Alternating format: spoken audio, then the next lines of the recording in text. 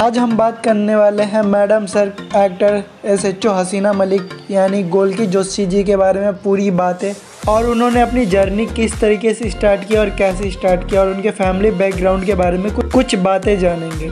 दोस्तों, मैं आप सभी का स्वागत करता हूँ ये माउंट वन फैक्ट चैनल पर। अगर आप इस चैनल पर पहली बार है तो जल्दी से जल्दी सब्सक्राइब करें इस चैनल को, और वीडियो की सारी नोटिफिकेशन सबसे पहले आपको मिले, इसके लिए बेल नोटिफिकेशन ऑन करना ना भूलें।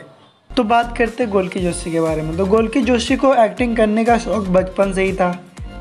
और उनके पिता राकेश जी डायरेक्टर थे और उनकी माता जी वो अभिनेत्री थी यानी कि एक्टर थी। और उनकी एक सिस्टर है वो भी एक्टिंग करती है और बहुत सारे सीरियलों में उन्होंने भी काम किया बोले तो पूरी फैमिली फुल पैकेज ड्रामा बोले तो सारे के सारे ही एक्टर और आर्टिस्ट हैं उनके घर में पूरे बड़े पड़े। और उन्होंने अपने एक्टिंग की करियर दो, 2011 से स्टार्ट किया था। क्राइम पेट्रोल से। अब बात करते हैं अपने मैडम सर के बारे में। तो अपनी मैडम सर, यानी गोलकी जोशी, ये बहुत सारे सीरियलों में भी काम कर चुकी हैं और बहुत सारे टीवी शो में भी पार्टिसिपेंट किए हैं। जान लेते हैं किस किस टीवी शो में उन्होंने काम किया है। 2011 में उन्होंने क्राइम पेट्रोल में स्टार्टिंग की थी, जो सोनी टीवी पर आता था और आता है।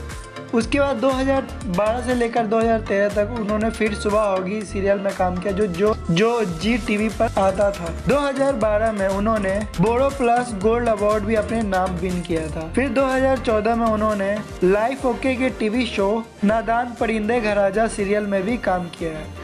ऐसे तो इन्होंने बहुत सारे टीवी शो में काम किया है, जिसमें से Sony TV, star plus, Life OK D national Colors Zee S TV Rishtey TV और अब भी फाइनल सब टीवी पर। वो मैडम सर के कैरेक्टर में है, जिसे हम जानते हैं। S H O Haseena Malik अब बात करते हैं S H O Haseena Malik ji के बारे में, यानी गोलकी जोशी के बारे में। तो दोस्तों, मैंने स्टार्टिंग में ही बताया था, गोलकी जोशी को एक्टिंग करने का बचपन से ही शौक था, और अब बात करते हैं मैडम सर सीरियल से, उन्हें बहुत ज़्यादा फ़ैन फ्लोइंग और बहुत ज़्यादा ही प्यार मिल रहा है, और लोग उन्हें मैडम सर कैरेक्टर में बहुत ज़्यादा पसंद कर रहे हैं। दोस्तों कमेंट करके ज़रूर बताना कि मैं नेक्स्ट वीडियो आपकी किस एक्टर पे बनाऊँ, और आप कमेंट करके ज़रूर बताना आपका फेवरेट एक्टर कौन है।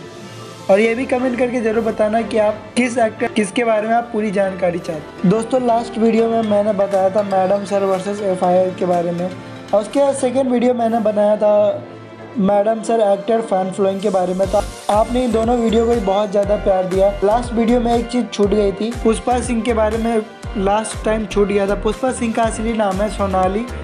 और उनके इंस्टाग्राम पर फॉलोवर है पैंतीस हज़ार दो सौ। आई होप ये वीडियो आपको अच्छी लगी है। अच्छी लगी है तो जल्दी से जल्दी वीडियो को लाइक करें और चैनल को सब्सक्राइब करें और कमेंट करके ज़रूर बताएँ कि आज की वीडियो हमारी कैसी थी।